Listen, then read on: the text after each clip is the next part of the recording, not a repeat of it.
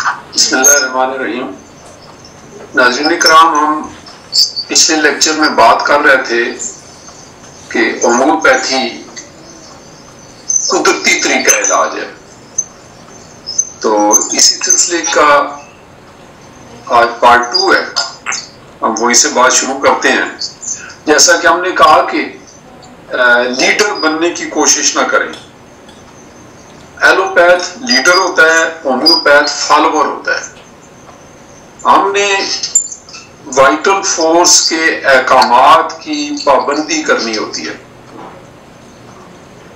Allopath vital force کو order دیتا ہے، ایلوپیتھک دعا آرڈر کرتی ہے، یوں کرو، یوں نہ کرو۔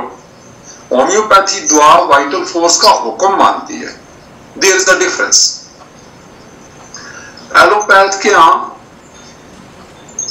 مرض وزٹ کرتے ہیں ڈیسیزز وزٹ کرتی ہیں، ہومیوپیتھ کے مریض وزٹ کرتا ہے۔ دیر از اے ڈفرنس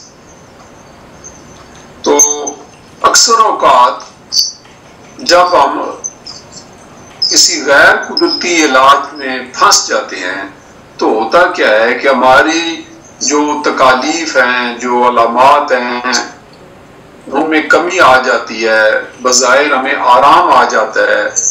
لیکن انفیکٹ ہوتا کیا ہے کہ وہ مرض دب جاتا ہے اور وہ پھر ساری زندگی اس کا خمیازہ بھگتنا پڑتا ہے۔ کبھی ایک مرض، کبھی دوسرا مرض، کبھی ایک کبھی ایک اسپیشلسٹ کبھی دوسرا اسپیشلسٹ تو مریض کا کہ جو نمبر آف اسپیشلسٹ ہیں، وہ بڑھتے چلے جاتے ہیں۔ آج بلڈ پریشر ہے تو کل ای این ٹی کے پاس چلے گئے ہیں۔ ٹھیک ہے۔ پھر دل کے ڈاکٹر کا معاملہ آ گیا، پھر اس میں چلے گئے ہیں پھر دمے کا معاملہ آ گیا، پھر رومیٹزم آ گیا، گاؤٹ آ گیا۔ تو وہ کہتے ہیں نا، مرض بڑھتا گیا، جوں جوں دوا کی۔ تو this is the idea of suppression آپ جتنا مرض کو سپریس کرتے چلے جائیں گے، آپ کی بیماریوں میں اضافہ ہوتا چلا جائے۔ تو یہ سارا جو ہے، یہ سپریشن ہے تو سپریشن کا مطلب یہ ہے کہ آپ قوت حیات کی حالت کا خیال کیے بغیر، اس کی ویلفیئر کا دھیان کیے بغیر زبردستی کچھ علامات غائب کر دیتے ہیں یا دوسرے لفظوں میں دبا دیتے ہیں۔ جیسے کیڑے مار دوائیں دے کر کیڑے ختم کر دیے جاتے ہیں۔ آپریشن کاٹ کے ٹانسز کاٹ دیے جاتے ہیں۔ بواسیری مسوں کو کاٹ دیا جاتا ہے، وارڈز کو کاٹ دیا جاتا ہے۔ کریمیں لگا کر خارش کو روک دیا جاتا ہے۔ تو یہ دس از آل سپریشن سپریشن کی سینکڑوں مثالیں ہیں۔ روزمرہ زندگی میں آپ نے خود بھی دیکھی ہوگی کہ بہت ساری مثالیں ہیں۔ کینٹ نے لکھا ہے کہ فسچولا کے آپریشن کے بعد کا مرض لگ سکتا ہے۔ اور اگر ایسا ہوگا تو بربرس ولگرس دعا ہوگی۔ یہ کینٹ نے اپنے لیکچرز میں یہ بات لکھی ہے۔ ڈاکٹر ٹی بی چٹرجی نے اپنی کتاب فنڈامنٹلز آف ہومیوپیتھی میں لکھا ہے کہ اگر فسچولا کے لیے طویل مدت پیلیٹو دعائیں استعمال کی جائیں تو ٹی بی کا خطرہ بڑھ جاتا ہے۔ وہی بات جو کینٹ نے لکھی۔ اسی طرح اگر برونکائٹس کے لیے اس وقتی دعائیں استعمال کرائی جائیں، تو دما اور اس کے بعد ٹی بی کے امکانات بڑھ جاتے ہیں۔ تو یہ کیا ہے؟ یہ ساری سپریشن ہے۔ سوریسس کو سپریس کریں تو بندہ ذہنی مریض بن جاتا ہے۔ یہ بات بھی ہے۔ تو علاج ایسا ہونا چاہیے جس میں سپریشن نہ ہو۔ مریض مینٹل لیول پر فزیکل لیول پر فری محسوس کرے۔ تو وہ ہے قدرتی طریقہ علاج۔ قدرتی طریقہ علاج میں کے بارے میں ڈاکٹر لوک ڈی شیپر نے بڑی دلچسپ بات لکھی ہے۔ لکھتے ہیں کہ آج سے چالیس پچاس سال پہلے ناک بہنے کا بڑا قدرتی علاج تھا۔ جس میں نہ کوئی سائڈ افیکٹ ہوتے تھے، نہ کوئی سپریشن وہ کیا ہوتا کہ جو ہی ناک بہتی وہ بچے آستین سے اپنی اس کو ناک کو صاف کر دیتے دیٹ صاف جس کو کہتے ہیں، ہینگ لگے نہ پھٹکڑی۔ اور رنگ بھی چوکھا ہے۔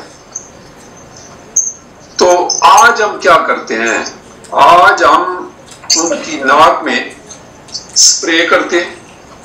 اینٹی بایوٹکس اینٹی الرجک کا فوری کورس کرواتے ہیں.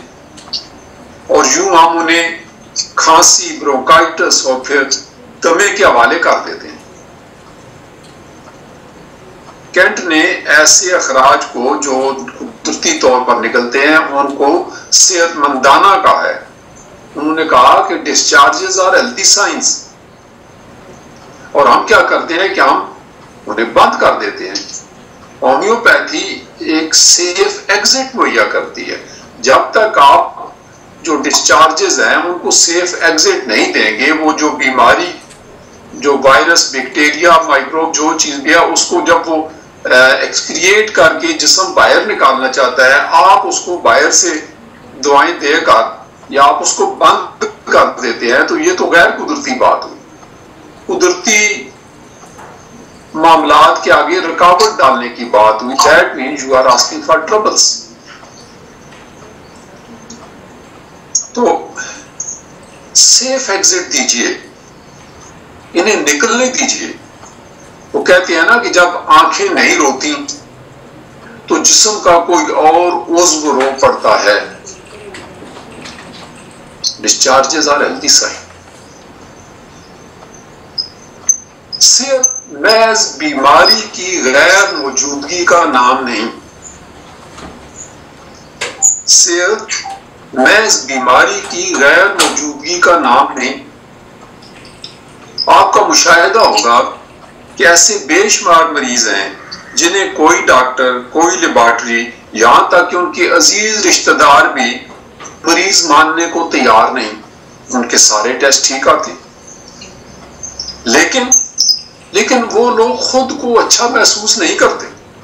کبھی ایک ڈاکٹر کے پاس، کبھی دوسرے ڈاکٹر کے پاس ایرے لگاتے رہتے ہیں۔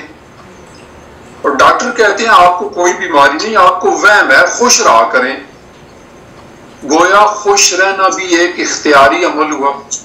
جب سوئچ آن کیا، خوش ہو گیا جب سوئچ آف کیا تو خوشی ختم ہو گئی۔ ایسا تو نہیں ہوتا۔ تو یہ بھی ایک بنیادی فرق ہے جو ہومیوپیتھی کو ایلوپیتھی سے جدا کرتا ہے۔ وی آر ڈفرینٹ ہماری اپروچ ڈفرینٹ ہے۔ ہم پورے انسان کو ایک اینٹی ایک یونٹ مانتے ہیں۔ جس میں اس کے اندر اس کی روح بھی ہے، اور اس کا جسم بھی ہے، اس کی سوچ بھی ہے، اس کے جذبات بھی ہیں، اس کا فزیکل بینگ بھی ہے، اس کا مینٹل بینگ بھی ہے۔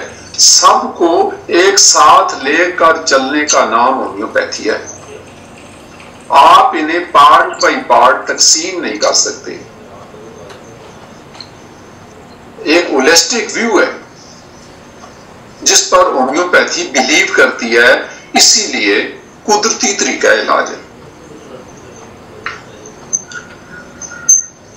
اب ذرا ماڈرن دعاؤں کا حال سنیے۔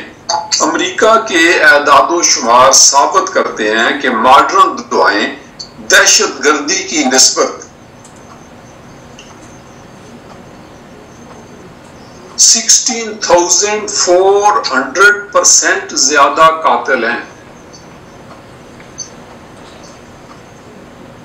ماڈرن دعاؤں کا حال سنیے۔ امریکہ کے اعداد و شمار ثابت کرتے ہیں کہ ماڈرن دعائیں دہشت گردی کی نسبت sixteen thousand four hundred percent زیادہ قاتل ہیں۔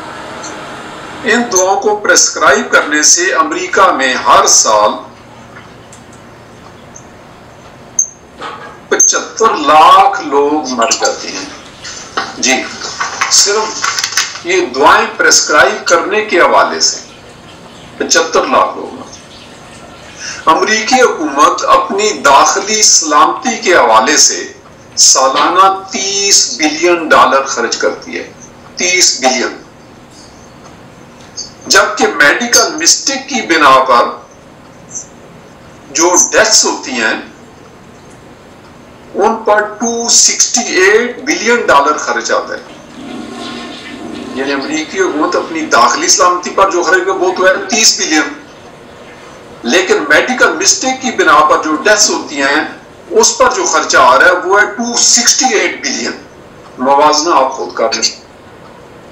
بیماری کیا ہے؟ قوانین فطرت کی خلاف ورزی بیماری ہے اور ان کی پابندی صحت ہے سو سمپل اگر کوئی سمجھنا چاہے تو اتنی سی بات ہے۔ آپ قوانین فطرت کے اندر رہیں، آپ بہت کام بیمار ہوں گے۔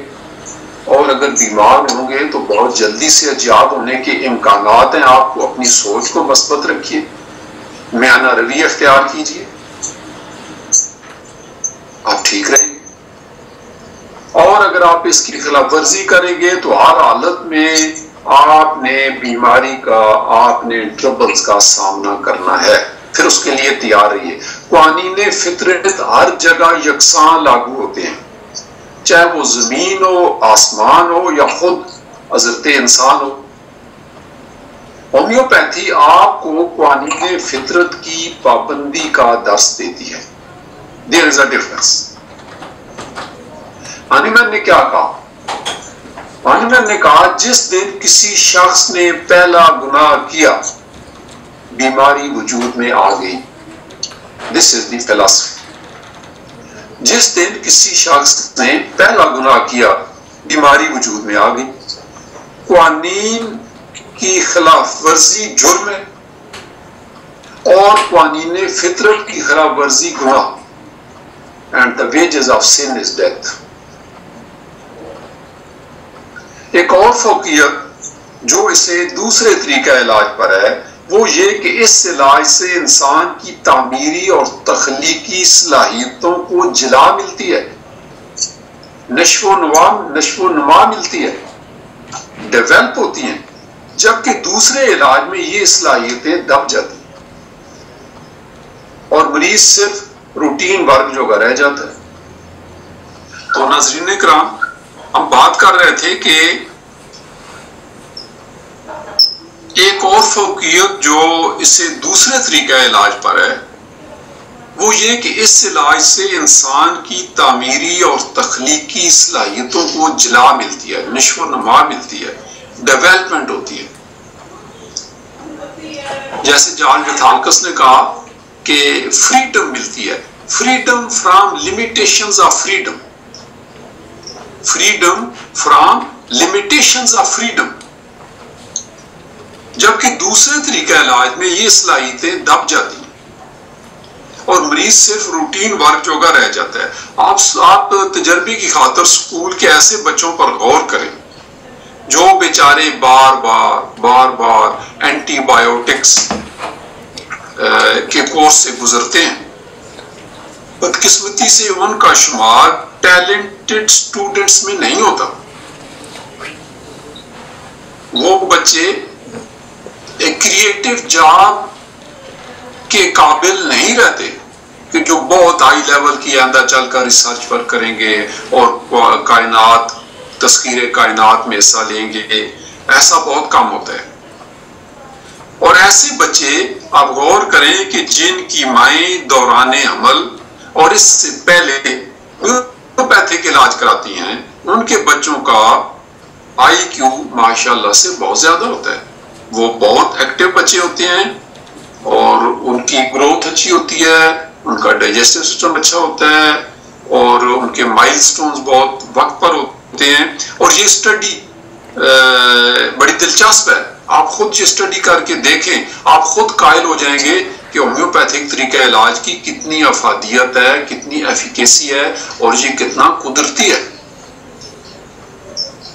ہومیوپیتھی میری معلومات کے مطابق واحد طریقہ علاج ہے جو نسلوں، پرانی خاندانی بیماریوں کے خاتمہ کا دعویٰ کرتا ہے۔ اور واحد طریقہ علاج ہے جو آپ کو انکیوریبل ڈیسیزز سے نجات دلانے کا دعویٰ کرتا ہے اور جو آپ کو ہیلتھی بچے پیدا کرنے کی ضمانت دیتا ہے پرووائڈیڈ کیا اس کو فلی اڈاپٹ کیا جائے، اس کو نسل در نسل اڈاپٹ کیا جائے اور پھر آپ دیکھیں گے کہ کتنے انعامات قدرت آپ کو ہومیوپیتھک علاج کے حوالے سے دیتی ہے۔ تو بہت شکریہ، یہ آج ہمارا لیکچر پارٹ ٹو تھا ہومیوپیتھی علاج کی افادیت کے بارے میں، اس کی ایفیکیسی کے بارے میں، اور اس پر بات ہم کر رہے تھے کہ یہ کتنا قدرتی طریقہ علاج ہے، لہذا انسانیت کے لیے یہ کتنا فروٹفل ہے، کتنا بیفیشل ہے۔ Thank you so much